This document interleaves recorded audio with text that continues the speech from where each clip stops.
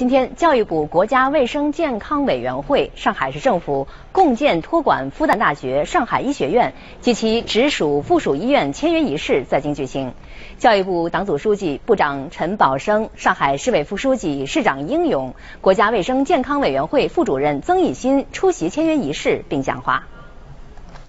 陈宝生指出。三方共建托管复旦大学上海医学院及其六家附属医院，体现了三方合力推动教育事业，尤其是医学教育事业的真情厚谊、真金白银、真枪实弹、真抓实干。学校未来办学要坚持正确办学方向，全面落实教育根本任务，立足上海，不断提升服务能力，为上海经济社会发展，特别是卫生健康事业发展提供强有力的人才保障和智力支撑。要充分利用共建托管的综合优势，加快建设一流医学院，打造一流医学学科专业，培养一流医学人才，示范带动全国综合性大学医学教育创新发展。英勇指出。以习近平同志为核心的党中央高度重视保障人民健康，要求把人民健康放在优先发展的战略地位。近年来，上海按照中央部署要求，深化综合医改试点，推进健康上海建设，医教协同推进医学教育改革发展，有利于加强医学人才队伍建设，更好的保障人民健康。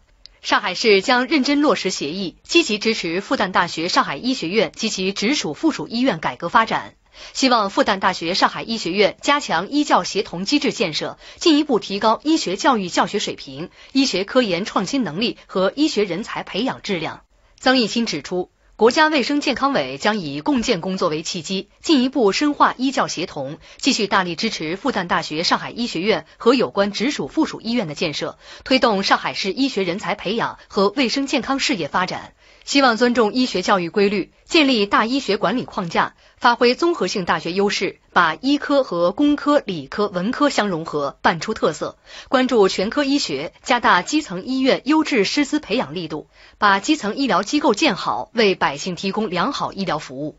教育部党组成员、副部长林慧卿主持会议，林慧卿、曾益新、上海市副市长翁铁慧代表三方签署共建协议。复旦大学领导焦阳、许宁生出席仪式。